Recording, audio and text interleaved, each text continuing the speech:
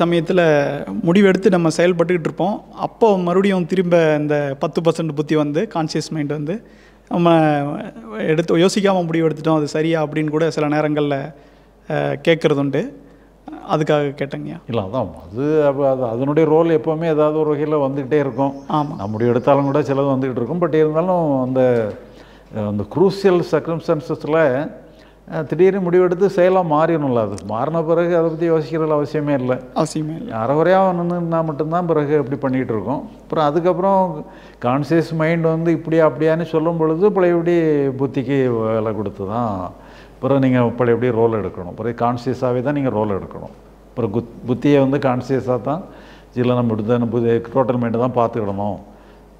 ஏன்னா இப்போ நீங்கள் அவசரத்தில் முடிவெடுத்தாலும் கூட வேலை ஒரு அறகுறையாக தான் நடந்திருக்குன்னா என்ன பண்ணுவீங்க? பிறகு பல ஃபர்தராக கன்டினியூ பண்ணுறதுக்கு ஆசிலேட்டிவ் மைண்டும் வரத்தான் செய்யும். அப்புறம் நீங்கள் ஒரு முடிவும் எடுக்கணும். அப்போ புத்தி தான் நல்ல முறையில் முடிவு எடுக்கணும். முடி செய்ய முடியாத இடத்துல சிக்கலான இதெல்லாம் டோட்டல் மைண்டு பார்த்துக்கணும்னு நினச்சிக்கிட்டு இருக்கும் பொழுது பழையபடி எனக்கு கொஞ்சம் செய்ய வேண்டிய செயலில் வீரியமாக செய்ய ஆரம்பிச்சிடலாம்.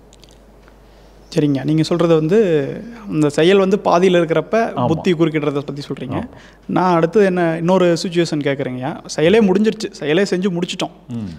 அப்படிங்கிற சுச்சுவேஷனில் புத்தி வந்ததுனாலும் புத்தி வந்து இந்த மாதிரி நம்ம செஞ்ச முடிவு எடுத்த முடிவு சரியா செஞ்ச செயல் சரியா அப்படின்னு கேட்குற சுச்சுவேஷனில் நம்ம வந்து அதை நெக்லெக்ட் பண்ணிடலாம் இல்லைங்களாங்க ஆமாம் அதான். முடிஞ்சு போனது முடிஞ்சு போச்சு முடிஞ்சது சொல்றதை கூட நீங்கள் புத்தி தான் முடிவு எடுக்கணும். ஆமா. முடிஞ்சு போனதெல்லாம் முடிஞ்சு போச்சு விடு நீட்டு சொல்லி முடிவு எடுக்கிறது அதுதான். ஸ்ரீ பகவத் ஐயா அவர்களின் மூன்று நாள் ஞான முகாம் மார்ச் மாதத்தில் நடைபெற உள்ளது நாள் இருபத்தி ஒன்பது மூணு ரெண்டாயிரத்தி இருபத்தி நாலு வெள்ளிக்கிழமை காலை எட்டு மணி முதல் முப்பத்தி ஒன்று மூணு ரெண்டாயிரத்தி இருபத்தி நாலு ஞாயிற்றுக்கிழமை மதியம் மூன்று மணி வரை. இந்த வகுப்பில் அகம் புறம் என்றால் என்ன மனம் புத்தி என்றால் என்ன ஆன்மீகம் கர்மா தியானம் ஞானம் முக்தி என ஒரு மனிதனுக்கு தேவையான அனைத்து முக்கியமான விஷயங்களும் கற்பிக்கப்படும்.